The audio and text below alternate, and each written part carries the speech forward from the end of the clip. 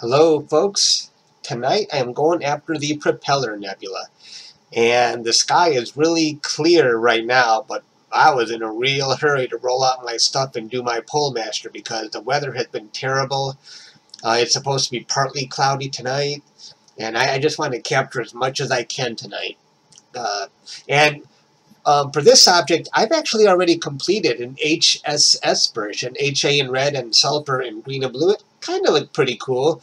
I put it on Astrobin, but I didn't want to make the video until I had a full Hubble version of this object. And so uh, I'm capturing uh, oxygen, and no matter what I capture tonight, I think I'm just going to go with it, even if it's only four hours worth, because uh, uh, the, the mean readout looks really good at 699.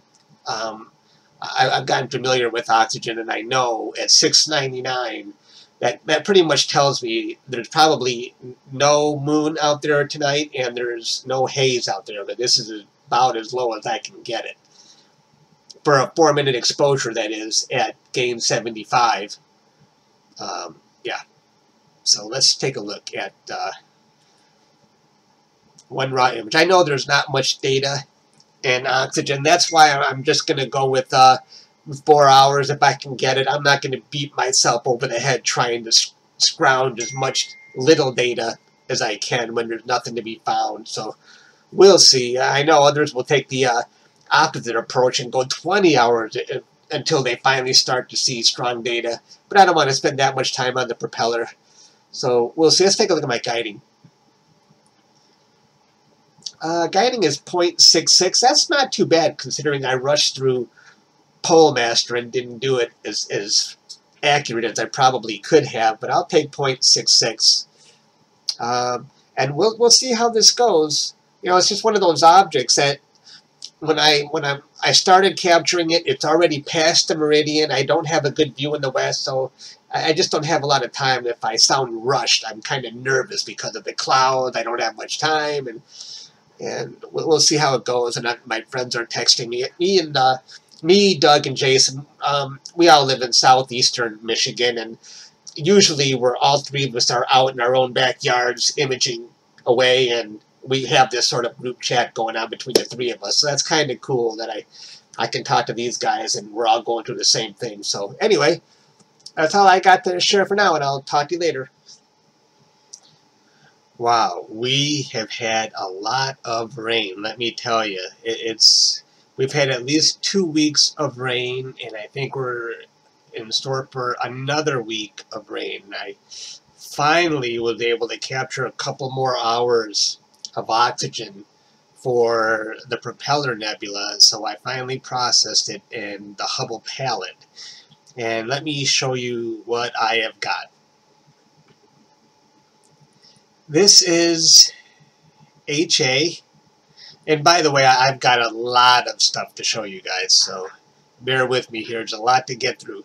Um, this HA, I, I didn't look at all the numbers. I have to go back and verify everything, but I think I've got over five hours of HA, about six hours of sulfur. And HA and sulfur are both very strong. This is after running a DBE on HA, and I ran an um, an automatic background extraction on the sulfur.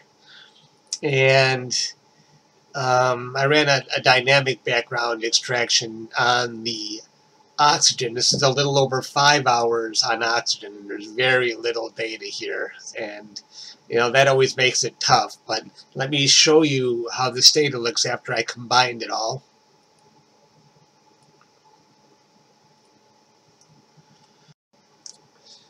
So like I say, when I don't have a lot of data but across all three filters, I just do a, um, a straight combine, 100% sulfur in red, 100% HA in green, and 100% um, oxygen in blue.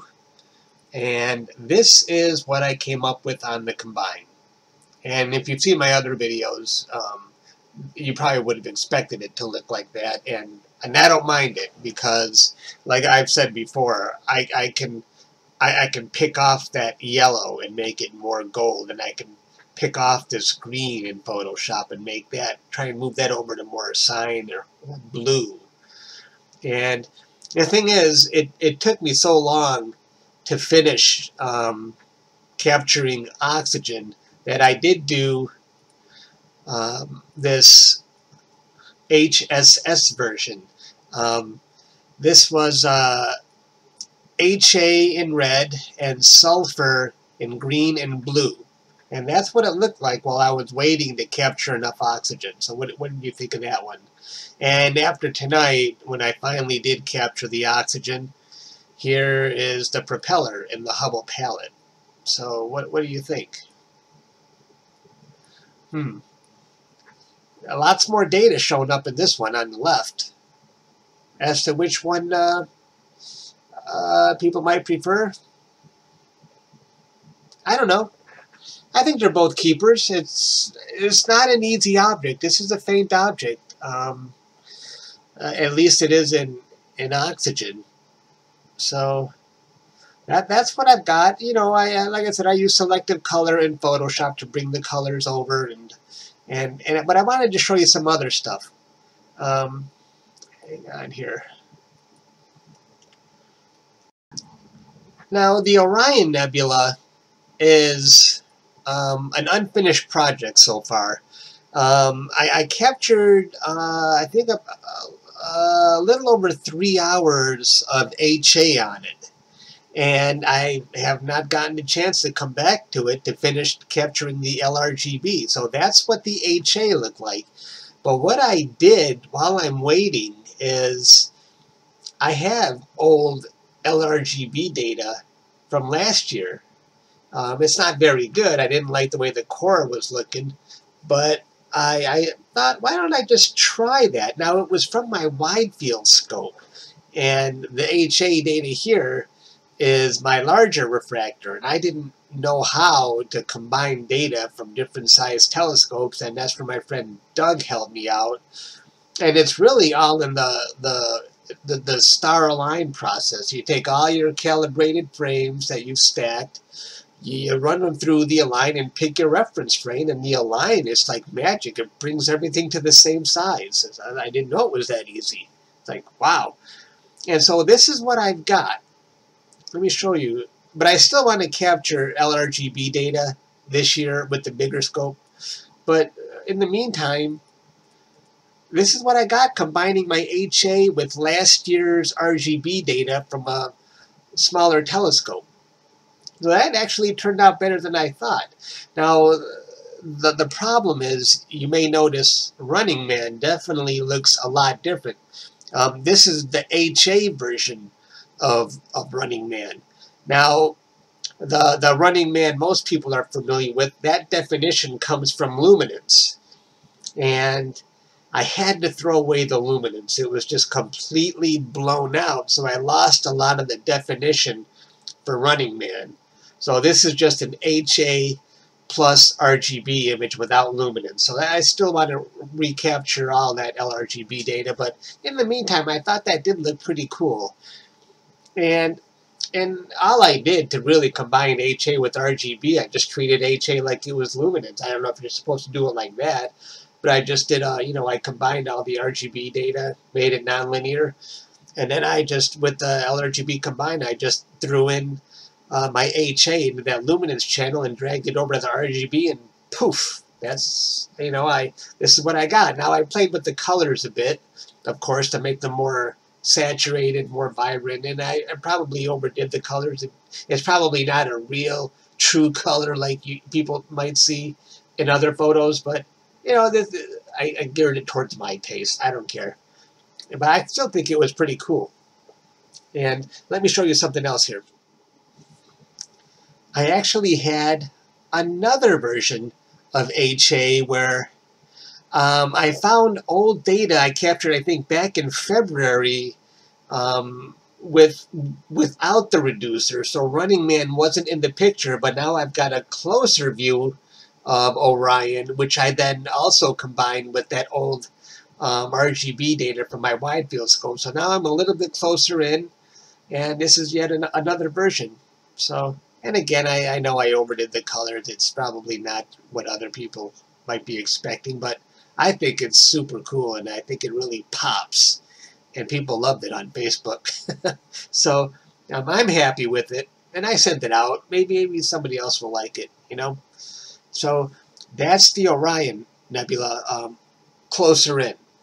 And let me show you um, what else. I, I, made a video already about the Little Rosette Nebula and the way it. I, I this was an HOO version where I had um, um, HA in red and oxygen in green and blue, but I had time to go back and capture um, sulfur, and this is how it looks with that. I don't know if you guys have seen that unless you would have been following me on Astrobin, but that's how it looks.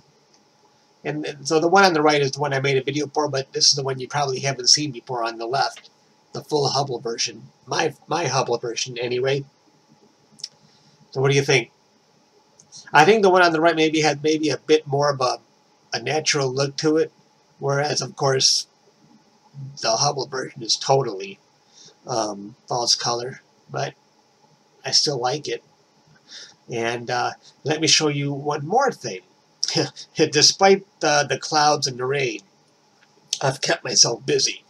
And uh, I think you last saw the horse head when it had 2.7 hours or so, but now I jacked that up to 5.7 hours of HA, so that's how it looks right now. And this was kind of a surprise that this HA version became a top pick in Astrobin. This is the one I was least expect to have a top pick because it's it's not even in color, but um, hey, they picked it. I'll take it. Thank you very much. Um, the horse head to me is one of those those objects that just looks really cool, you know, in, in mono without any color. I but I still want to go back and add color to this one too. So I had a lot of things on my plate that I want to do. But anyway, I'm uh, that's, that's all I got to share with you now, folks. And I'm I, I've got clouds for the next week. So anyway, thanks for tuning in, and I will see you later.